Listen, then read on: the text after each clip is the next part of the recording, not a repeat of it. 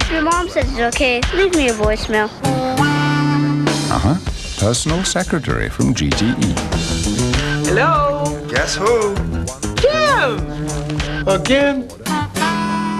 He's saving money with GTE long distance. You can too.